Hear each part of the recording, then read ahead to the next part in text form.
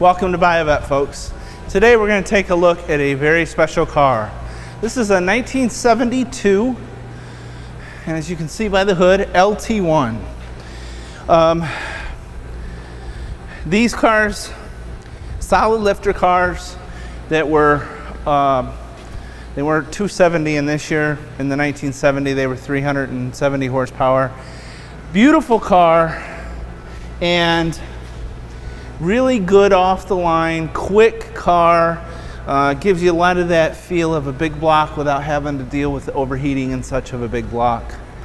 Just a really good, strong engine, a lot of fun to drive. This car is actually documented to be an LT1 by the tank sticker of the car. Paint on the car is in new style condition. It's beautiful.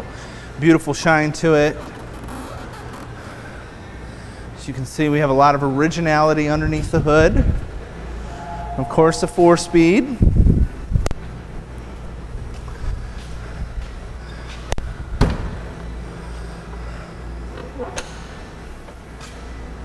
Original shielding. Frame is in show condition, as we'll see when we go underneath. Wiring is all nice and clean and looks to be in newer shape as well. Just a really, really well done car. Interior is a bright blue. It has been changed up to leather-like from the vinyl from the factory. The blue carpeting, an original style radio, Chrome on the car is in great shape, as well as your caps and bands.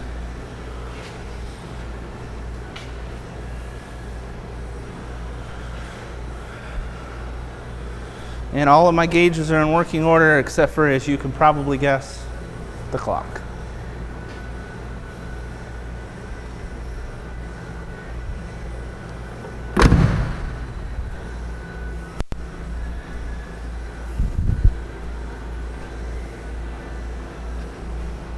If you're looking for a gorgeous blue bumper year car, this is the one.